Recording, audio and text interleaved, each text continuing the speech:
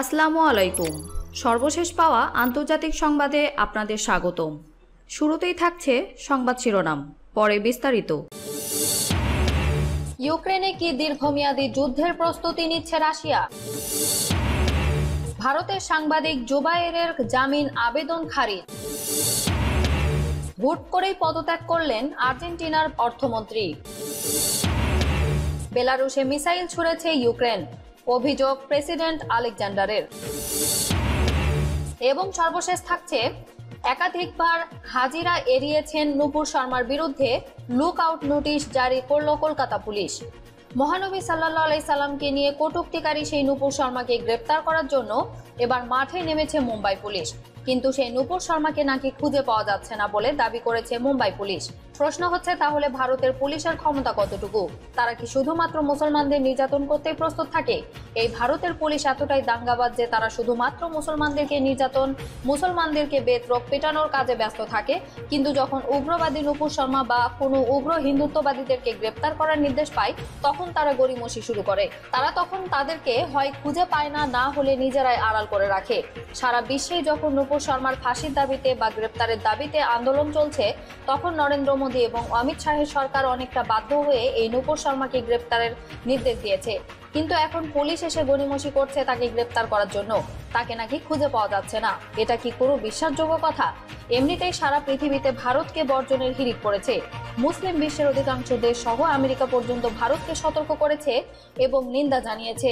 যদিও এই সমস্ত নিন্দা কতটা তারা পাত্তা দেয়, সেটা নিয়েও প্রশ্ন রয়েছে। যদি তারা পাত্তা দিত, তাহলে এর আগে কাশ্মীর নিয়ে জাতিসংঘের দেওয়া নির্দেশনা তারা মেনে নিত। কিন্তু এখনও পর্যন্ত তারা মানেনি। অথচ ভারত নিজেদেরকে গণতান্ত্রিক ধর্মনিরপেক্ষ রাষ্ট্র বলে দাবি করে আসছে। ভারতে এই সব নূপুর শর্মা ও নবীন জিন্দালকে তৈরির পেছনে নরেন্দ্র মোদী সরকার জড়িত বলে আমি মনে করি। তাই নূপুর শর্মা এবং নবীন জিন্দালের মতো মানুষের শাস্তি হওয়ার পাশাপাশি নরেন্দ্র মোদী এবং অমিত শাহের সরকারের পতন ঘটানো উচিত বলে আমি মনে করি। এ বিষয়ে আপনারা কি মনে করেন? অবশ্যই আপনারা আপনাদের মূল্যবান মতামত কমেন্টে লিখে জানাবেন। আপনারা কোন জায়গা থেকে এই ভিডিওটি দেখছেন বা শুনছেন, সেটা অবশ্যই কমেন্টসে লিখে যাবেন। এছাড়াও অনুরোধ থাকবে ভিডিওটি বেশি বেশি করে শেয়ার করার জন্য যেন বহির বিশ্বের মানুষ ভারতের এই সমস্ত ভণ্ডামি, এই সমস্ত নির্যাতন সম্পর্কে জানতে পারে।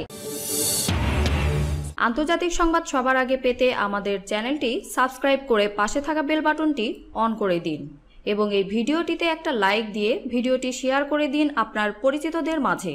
ইউক্রেনে কি দীর্ঘমেয়াদী যুদ্ধের প্রস্তুতি নিচ্ছে রাশিয়া?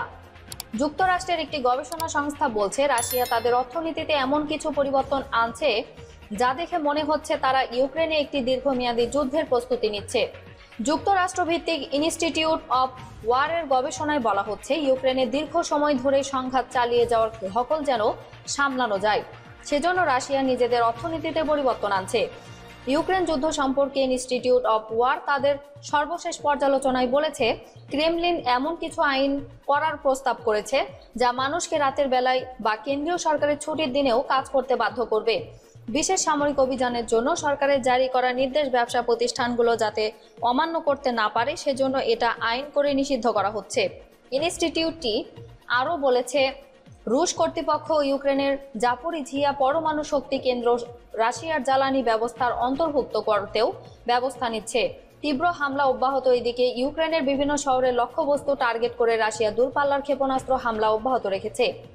বন্দর শহর ওডেসা থেকে একশো কিলোমিটার দূরের মিকোলাইভ শহর একের পর এক বিস্ফোরণে কেঁপে কেঁপে উঠছে।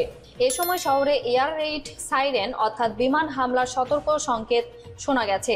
Mayor Alexander Senkevich Telegram messaging অ্যাপে শহরের বাসিন্দাদের উদ্দেশ্যে লিখেছেন, আপনারা আশ্রয় কেন্দ্রের ভেতরে থাকুন। শহরে শক্তিশালী বিস্ফোরণ ঘটছে। এর আগে এই মিকোলাইভ থেকে প্রায় একশো কিলোমিটার দূরে ওডেসার কাছে একটি বহুতল ফ্ল্যাট বাড়িতে রুশ ক্ষেপণাস্ত্র হামলায় অন্তত একুশ জন নিহত হয়েছিল। তারপর মিকোলাইভে এই ঘটনা ঘটেছে। কেন এই বিস্ফোরণ ঘটছে তা পরিষ্কার নয়। তবে রাশিয়া বলছে, তারা ওই অঞ্চলে ইউক্রেনের আর্মি কমান্ড পোস্টগুলোতে হামলা চালাচ্ছে।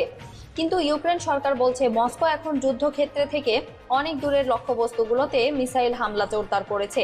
তবে রাশিয়া বলেছে তারা সামরিক স্থাপনাতেই হামলা করেছে। সামরিক লোকজনকে টার্গেট করার কথা তারা অস্বীকার করছে। ওডেসাতে শুক্রবারের হামলায় একটি অ্যাপার্টমেন্ট ব্লক অংশত মাটিতে ধসে গেছে। এর আগে সোমবার ক্রেমেনচুকে একটি শপিং মলে হামলায় নিহত হয়েছিল উনিশ জন। রাশিয়ার প্রতিরক্ষা মন্ত্রণালয় দাবি করেছে তারা মিকোলাইভে এবং পূর্ব ডনবাস অঞ্চলে ইউক্রেনের সামরিক ফাঁড়িগুলো ধ্বংস করছে। সেখানে তারা হাই প্রিসিশন অস্ত্রশস্ত্র অর্থাৎ নিখুঁত লক্ষ্যভেদী অস্ত্র ব্যবহার করেছে। লিসিচানস্ক অবরুদ্ধ এদিকে পূর্বে লুহানস অঞ্চলের লিসিচানস শহরের পরিস্থিতি খুবই গুরুতর বলেই মনে হচ্ছে। রুশ সমর্থিত ইউক্রেনীয় বিচ্ছিন্নতাবাদীরা বলেছে, তারা এখন লিসিচানসকে চারদিকে ঘিরে ফেলেছে। রাশিয়ার তাস বার্তা সংস্থা একজন বিচ্ছিন্নতাবাদী নেতাকে উদ্ধৃত করেছে, যিনি দাবি করেছেন, তাদের মিলিশিয়া এবং রুশ বাহিনী মিলে শহরটি সর্বশেষ কৌশলগতভাবে গুরুত্বপূর্ণ এলাকাটিও দখল করে নিয়েছে। লিসিচানস ছিল পুরো লুহানস্ক অঞ্চলের ইউক্রেনীয়দের সর্বশেষ দুর্গ। মনে হচ্ছে ক্রমাগত রুশ হামলার মুখে এর পতন আসন্ন। লুহানস্কের গভর্নর সেরহেই হাইদাই বলেছেন সেখানে হামলার শিকার গ্রামগুলোর বাড়িতে বাড়িতে আগুন জ্বলছে। গোলা হামলার মুখে মানুষ তাদের বাড়ির আগুন পর্যন্ত নেভাতে পারছে না। ভারতের সাংবাদিক জুবাইরের জামিন আবেদন খারিজ। দু হাজার আঠারো সালে বিতর্কিত টুইট মামলায় ভারতের সাংবাদিক মোহাম্মদ জুবাইরের জামিন আবেদন খারিজ করলেন আদালত। দিল্লির মুখ্য বিচার বিভাগীয় ম্যাজিস্ট্রেট স্নিগ্ধা শ্রীবাস্তব শনিবার দিল্লি পুলিশের আবেদন গ্রহণ করে খবরের সত্যতা যাচাই করার সংবাদ মাধ্যম অল নিউজের এই সহ প্রতিষ্ঠানকে চোদ্দ দিনের কারা হেফাজতে পাঠানোর নির্দেশ দিয়েছেন। চার বছরের পুরনো মামলার আটক জোবাইরের বিরুদ্ধে শনিবার আবার নতুন অভিযোগ এনেছে দিল্লি পুলিশ। তার মধ্যে রয়েছে অপরাধমূলক ষড়যন্ত্র এবং প্রমাণ ধ্বংস করা। সেই সঙ্গে তার বিরুদ্ধে বিদেশি অনুদান নিয়ন্ত্রণ আইনের পঁয়ত্রিশ নম্বর ধারা অমান্যেরও অভিযোগ এনেছে কেন্দ্রীয় স্বরাষ্ট্রমন্ত্রী অমিত শাহের মন্ত্রণালয়ের নিয়ন্ত্রণাধীন দিল্লি পুলিশ। প্রসঙ্গত বিজেপি নেত্রী নূপুর শর্মা টেলিভিশন অনুষ্ঠানে মহানবী সাল্লাহ সাল্লামকে নিয়ে যে বিতর্কিত মন্তব্য করেছিলেন তা জুবাইরই প্রথম নেট মাধ্যমে প্রকাশে আনেন। জুবাইরের আইনজীবী আদালতে বলেন, ফোন ফরম্যাট করা বেআইনি কাজ নয়। তিনি আরও বলেন, জুবাইর যে টুইট করেছিলেন তা উনিশশো তিরাশি সালের সেন্সর বোর্ডের ছাড়পত্র পাওয়া ছবিরই দৃশ্য। অন্যদিকে পুলিশের যুক্তি এটি নিছক একটি টুইটের ব্যাপার নয়। তখন উনিশশো তিরাশি সালে কোনো ইন্টারনেট ছিল না। সিরিয়া ও পাকিস্তানের মতো দেশ থেকে জুবাইরের অনুদান গ্রহণের বিষয়টিও তাৎপর্যপূর্ণ। জুবাইরের দু হাজার আঠারো সালের একটি টুইটে ধর্মীয় অনুভূতিতে আঘাত লেগেছে এই অভিযোগ তুলে দিল্লি পুলিশ গত রবিবার তাকে গ্রেপ্তার করে। সোমবার তাকে একদিনের জন্য পুলিশ হেফাজতে পাঠানো হয়। আবার জেরার জন্য পুলিশ হেফাজতে নেওয়ার আবেদন জানালে মঙ্গলবার বিচারক আরও চার দিনের হেফাজত মঞ্জুর করেন। সেই সময়সীমা শেষ হয় শনিবার দিল্লির একটি আদালতে জুবাইরের তরফে জামিনের আবেদন করেছিলেন তার আইনজীবী বৃন্দা অগ্রভাল অন্যদিকে, দিল্লি পুলিশের কৌশলী জামিনের বিরোধিতা করে জুবাইরকে চোদ্দ দিনের পুলিশ হেফাজতে পাঠানোর আবেদন করেন আদালত। তবে দিল্লি পুলিশ শনিবার আদালতকে জানিয়েছে, তদন্তের জন্য জুবাইরকে আর জেরা করার প্রয়োজন নেই। হুট করেই পদত্যাগ করলেন আর্জেন্টিনার অর্থমন্ত্রী। আর্জেন্টিনার অর্থনৈতিক সংকট তীব্র হওয়ায় পরিস্থিতিতে হুট করেই পদত্যাগ করলেন দেশটির অর্থমন্ত্রী মার্টিন গুজম্যান। এক টুইট বার্তায় বিবৃতি শেয়ার করে তিনি পদত্যাগের ঘোষণা দিয়েছেন। বিবিসি জানিয়েছে, দুহাজার উনিশ সালের শেষের দিক থেকে তিনি আর্জেন্টিনার অর্থমন্ত্রী হিসেবে দায়িত্ব পালন করে আসছিলেন। আন্তর্জাতিক মুদ্রা তহবিলের আইএমএফ সঙ্গে ঋণ পুনর্বিবেচনার নেতৃত্ব দিচ্ছিলেন তিনি। তবে অর্থমন্ত্রী মার্টিন কেন পদত্যাগ করলেন তা বলেননি।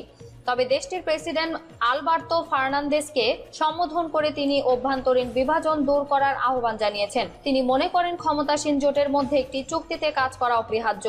আর্জেন্টিনার ভাইস প্রেসিডেন্ট ও সাবেক প্রেসিডেন্ট ক্রিস্টিনা কিরচনার বরাবরই সরকারের সমালোচনা করে আসছিলেন। দুই সপ্তাহ আগে প্রেসিডেন্ট ফার্নান্দেজের অর্থনৈতিক ব্যবস্থাকে আক্রমণ করে বক্তৃতাও দিয়েছেন তিনি। এরপর অর্থমন্ত্রীর পদত্যাগের ঘোষণাটি এলো। বেলারুশে মিসাইল ছুড়েছে ইউক্রেন, অভিযোগ প্রেসিডেন্ট আলেকজান্ডারের। ইউক্রেন বেলারুশে মিসাইল ছুড়েছে বলে অভিযোগ করেছেন দেশটির প্রেসিডেন্ট আলেকজান্ডার লুকাশেঙ্কো। দেশটির রাষ্ট্রীয় সংবাদ সংস্থা বেলটার বরাত দিয়ে রবিবার কাতার ভিত্তিক গণমাধ্যম আল জাজিরা এই তথ্য জানিয়েছে। বেলারুশের প্রেসিডেন্ট বলেছেন, দেশটির সেনাবাহিনী ইউক্রেন থেকে তাদের ভূখণ্ডে নিক্ষেপ করা ক্ষেপণাস্ত্রগুলো ভূপাতিত করেছে। যদি তার ভূখণ্ড আগ্রাসনের শিকার হয়, তবে তা রক্ষা করার প্রতিশ্রুতিও দেন তিনি। এ ধরনের হামলাকে উস্কানিমূলক বলে আখ্যা দিয়েছে বেলারুশ। উপযুক্ত জবাব দেওয়ার হুঁশিয়ারিও দিয়েছেন দেশটির প্রেসিডেন্ট। গত সপ্তাহে বেলারুশ সীমান্ত দিয়ে ইউক্রেনে মিসাইল ছোড়া হয় বলে দাবি করেছিল ইউক্রেন।